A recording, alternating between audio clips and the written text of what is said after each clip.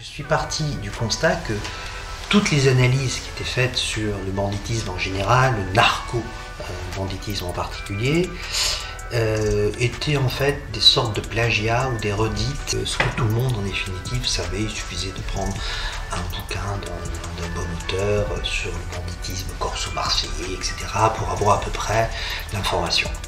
Et peut-être que ça serait intéressant de faire un travail à l'envers et de partir des cités et d'écrire ensuite. Donc je suis allé dans les cités, pas uniquement en Ile-de-France, mais à Toulouse, mais euh, à Marseille, euh, mais du côté de Lyon, un peu partout, dans le Nord également.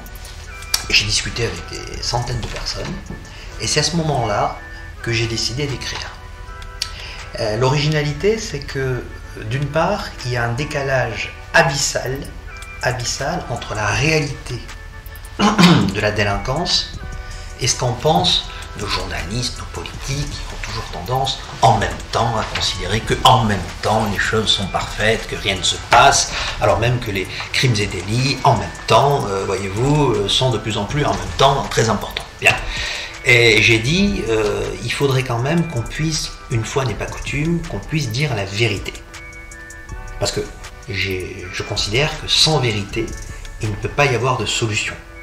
Or, à force de créer des tabous, mais ça crée des objets, des accès de fixation, et puis de la frustration, puis les, gens disent que ce qu'ils voient, euh, c'est la réalité, qu'on accepte soit parce qu'ils soient débiles et aveugles, et, donc si on ne leur dit pas la vérité, après on ne peut pas euh, poser un conseil et des solutions.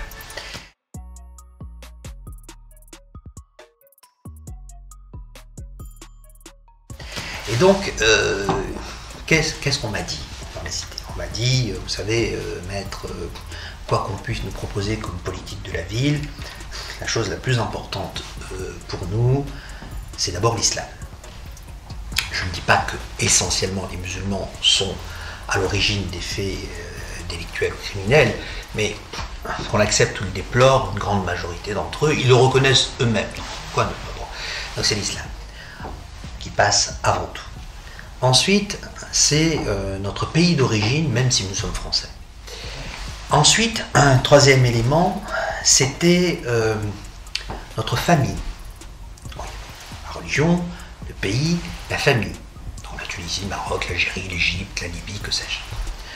En quatrième élément, c'était la cité, dans laquelle euh, ben, s'inscrivaient nos activités délictuelles.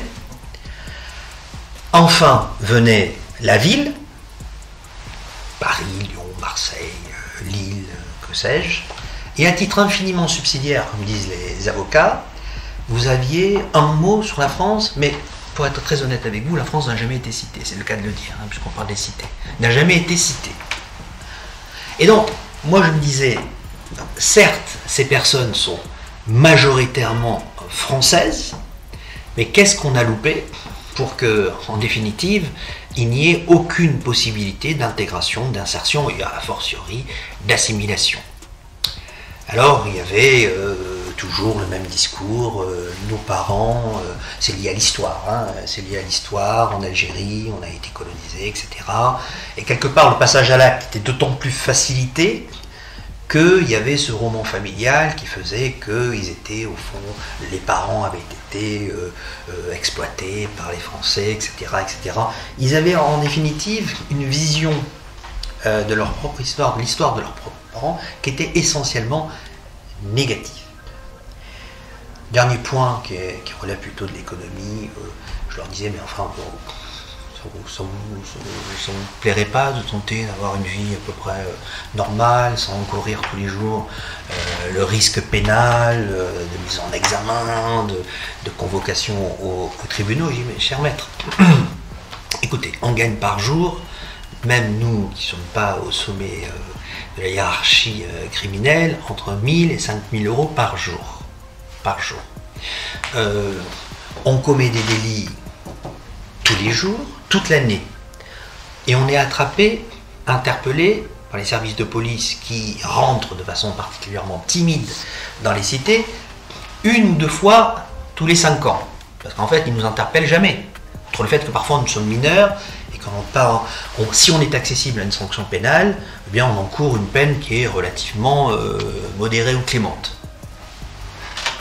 Vous voulez que pour 10, 15, 20 000 euros par mois, on, arrête alors qu'on sait qu'on n'encourt rien. Euh, pour avoir 10 ou 15 000 euros par mois, il a fallu que je fasse Polytechnique, l'ENA, HEC, Sciences Po, des grandes études, ou d'être recruté dans un grand groupe, etc. Et que j'ai 25 ans d'expérience, et que je plaise au patron, DG, à tout le monde, pour pouvoir prétendre peut-être un jour je les gagne déjà, j'ai 16 ans. Et d'ailleurs, que me propose la France? Que me propose la France? Si demain je me présente à un emploi, je ne serai jamais recruté. Et si on me recrute, ce sera pour faire des métiers aussi respectables que balayeur ou éboueur. Il n'y a pas de sous-métier à des gens. Mais enfin, et je vais gagner 800 euros net par mois. Donc, euh, quelque part, euh, d'être interpellé tôt ou tard, c'est un peu la TVA.